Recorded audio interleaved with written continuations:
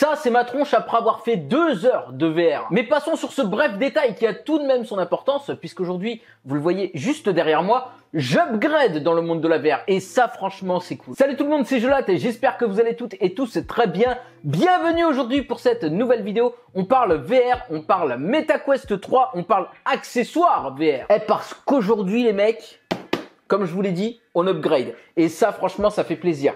Alors, je vous propose pas d'unboxing aujourd'hui puisque ça fait déjà euh, ça fait déjà un bon mois que je les ai et que je les utilise quasiment quotidiennement. Parce que bon je joue très souvent à la VR et je vais pouvoir vous donner des retours sur tout ce que j'utilise depuis un mois. Aujourd'hui on part sur des accessoires de la marque Kiwi Design, j'en ai trois, des grippes pour les manettes, une sangle avec une batterie intégrée pour toujours plus d'autonomie et un support de charge qui va venir recharger et la batterie et le casque. Aujourd'hui vous l'aurez donc compris c'est un top 3 accessoires et on commence tout de suite avec les sangles des manettes. Déjà, avant de vous présenter les nouvelles sangles de manettes Kiwi Design, faut savoir que je viens de ça, les mecs. Alors là, euh, je fais genre, je les porte comme si je disais ah Burke, mais fait euh, pas du tout. Franchement, elles sont grave bien. Je les ai pas achetées cher et euh, voilà, je viens de ça. On n'est clairement pas sur la même qualité. Alors ça, ça vient de chez AliExpress.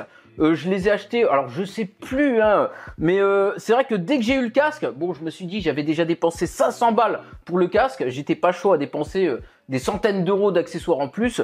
Et puis euh, voilà, moi ce que j'avais acheté, euh, ça me suffisait très bien. Donc j'avais acheté des sangles pour les manettes sur AliExpress. Hein. J'avais acheté euh, une sangle pour le casque.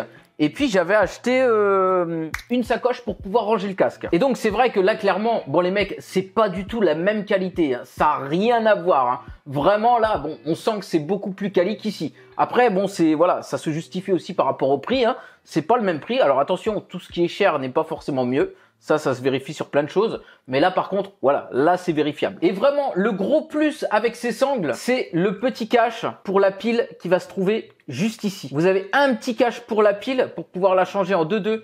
Et ça, franchement, c'est super cool. C'est vrai qu'avant, je avec ça. Et donc là, vous le voyez, bah, on n'a pas de cache pour changer les piles. Hein. Donc du coup, à chaque fois, tu es obligé de retirer complètement ta manette euh, du silicone enlever euh, le bout de plastique pour pouvoir changer la pile, remettre, machin, la manette et tout.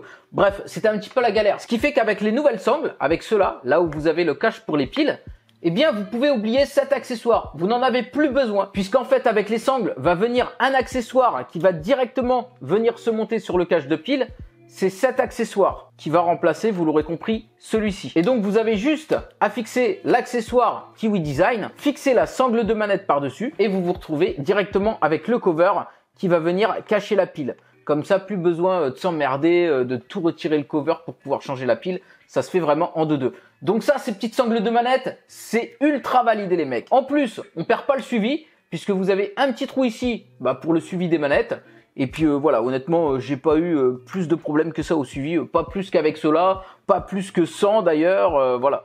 J'ai l'impression que de temps en temps, alors ça dépend à quel jeu tu vas jouer, hein. moi c'est vrai que je joue beaucoup et surtout quasiment qu'à ça en fait, le jeu de tennis, voilà, qui s'appelle First Tennis Person. Et bien souvent, tu vas perdre le suivi des manettes, tu vois, quand tu donnes des coups rapides ou voilà, que tu as la raquette qui passe derrière ta tête, des fois, Ouais, ça arrive, tu donnes des coups, la raquette elle passe derrière ta tête. Ne me demandez pas pourquoi ni comment, mais ça arrive. On passe au deuxième objet qui est la sangle pour le casque VR. Alors, il m'a fallu un petit temps d'adaptation pour m'y habituer. Faut savoir que de base, moi, je reviens de cette sangle là que j'ai acheté sur AliExpress. Euh, je l'avais acheté, je crois, 15 balles. Voilà, bon, elle a fait le taf, hein, nickel. Hein. Regardez, je la mets comme ça et tout. Vous savez, on a l'impression c'est les casques de laboratoire où ils te branchent des diodes sur les cerveaux et tout pour faire des expériences.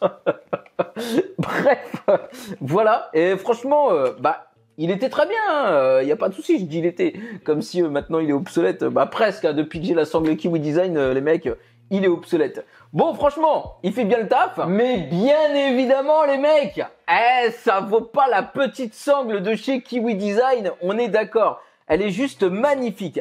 Alors vraiment, si je devais faire un petit comparatif des deux, déjà, c'est vrai que ça m'a choqué. La première fois que j'ai mis la sangle Kiwi Design, j'avais une petite gêne en fait, si vous voulez, parce que j'ai longtemps été habitué à avoir ça sur la tête.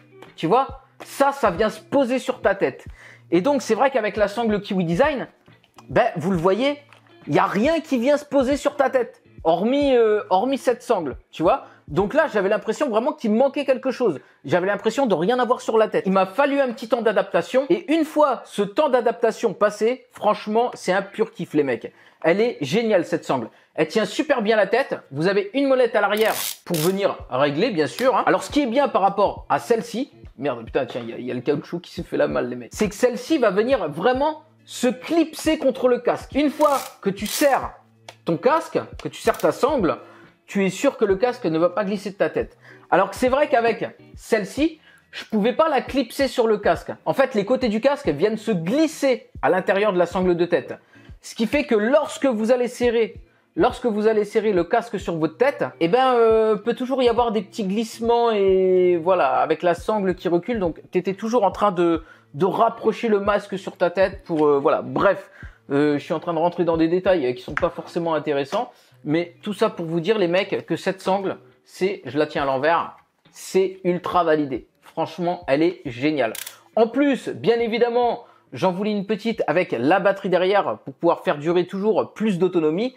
Vous le savez, c'est un petit peu le point faible du MetaQuest 3, c'est au niveau de l'autonomie. On va avoir à peu près une heure et demie d'autonomie, bien que moi, franchement, j'arrive à jouer deux heures avec mon jeu de tennis à peu près, à peu près deux heures. Peut-être un peu moins en fait. Ça va dépendre de la luminosité que tu mets dans ton casque, du son aussi que tu vas mettre dedans. Tout ça, ça va venir pomper sur la batterie. Moi, je sais que je joue avec une luminosité assez réduite, avec un son pas trop fort. Donc, j'arrive à tenir à peu près deux heures. Maintenant, avec la batterie, j'arrive à tenir 4 heures sans problème. Alors 4 heures, voire un peu mieux de 4 heures. Puisqu'en fait, la batterie, elle, elle va avoir une autonomie de 2 heures et demie alors euh, j'ai déjà tout calculé les mecs, hein. je vous dis ça fait un mois que je l'utilise. La batterie elle a une autonomie de 2h30 sur mon jeu de tennis. Encore une fois, c'est vrai que je n'ai pas essayé sur des gros jeux. J'imagine que ça va venir prendre un petit peu plus d'autonomie. Mais en tout cas sur le jeu de tennis, 2h30 pour la batterie et euh, à peu près euh, voilà entre 1h30 et 2h on va dire pour le casque. Ce qui vous laisse une bonne autonomie de 4 heures en moyenne.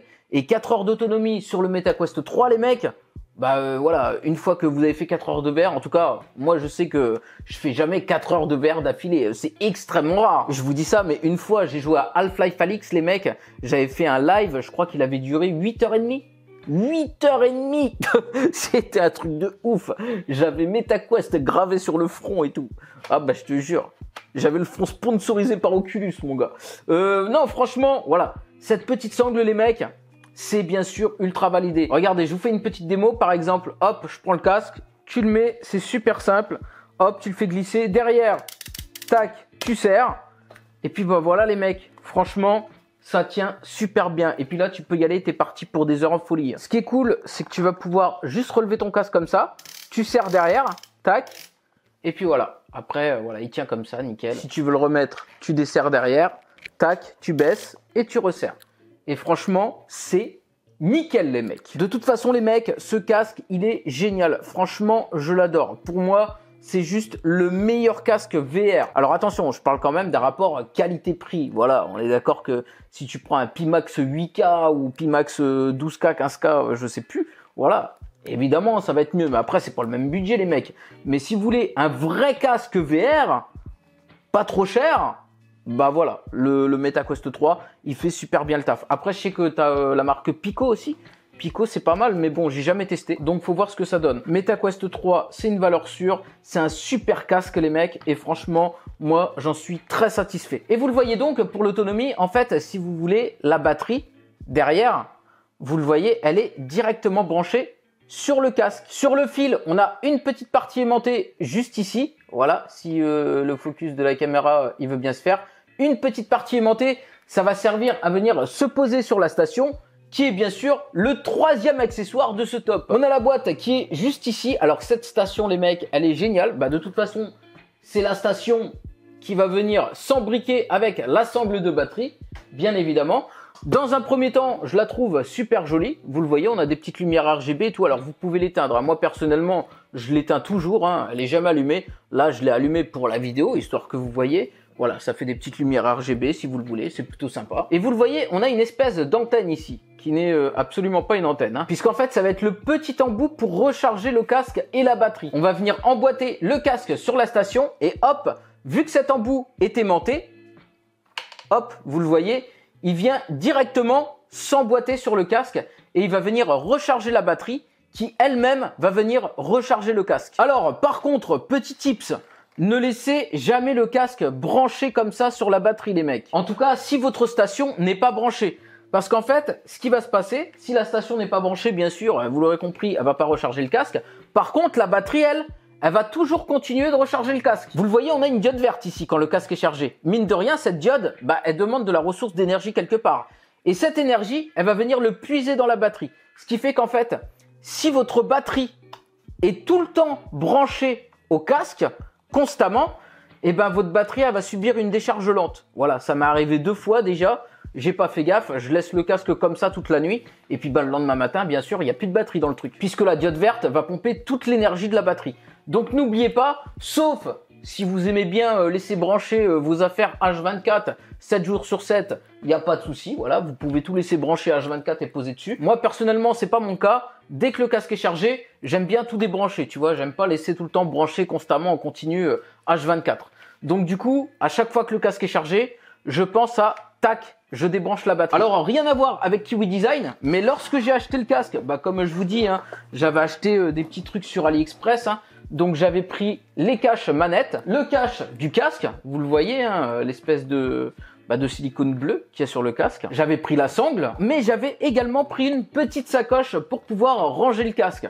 Et euh, franchement, bah, cette sacoche, elle est cool, hein, les mecs. Hein. Elle est rigide et tout. J'avais acheté ça sur AliExpress, je sais plus combien je l'ai acheté. Je crois que je l'ai acheté 20 balles. 15 ou 20 balles. Dès que j'ai reçu la sangle Kiwi Design, je me suis dit, bah ça y est, c'est mort, ma sacoche, elle sert plus à rien. Le casque, il va pas rentrer dedans avec la sangle. Eh bien, détrompez-vous, puisque regardez, le casque rentre parfaitement, même avec la sangle Kiwi Design. On dirait même que ça a été prévu à cet effet, et franchement, bah c'est super cool. Voilà, regardez, le casque, il tient pile poil dans la sacoche, et c'est vrai que je me suis dit que ça allait jamais rentrer.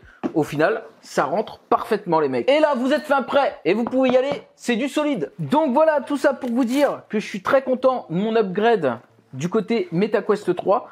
Déjà, c'est un casque, bah, comme euh, vous le savez, je vous l'ai déjà dit, je l'adore. Franchement, il est génial. Que ce soit non seulement pour jouer aux jeux PC, mais aussi aux jeux autonomes. À la base, d'ailleurs, c'est surtout fait pour jouer en autonome, mais ça marche très très bien sur le PC. Voilà, vous l'aurez compris, bien sûr, petit récapitulatif de ce top 3 accessoires pour MetaQuest 3. On va avoir les grippes de manette, la sangle qui va nous donner une autonomie confortable d'environ 4 heures, ce qui est énorme. En tout cas, en VR, je trouve ça énorme.